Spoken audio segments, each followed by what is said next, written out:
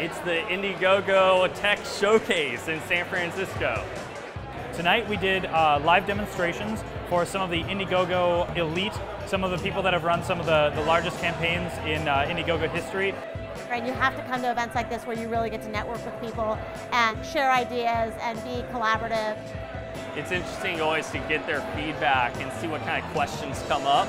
We're really happy to meet with these folks, help their dreams come to fruition, and trying to help them any way they can and being successful on Indiegogo. We used Indiegogo as a real launching point for our business. We had support coming from basically every continent around the world. We have 57 other countries that have contributed.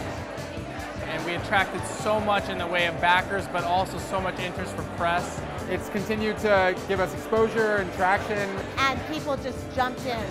I saw a lot of companies who I started helping about a year or two ago, and they've evolved to full-fledged companies with real offices and real products.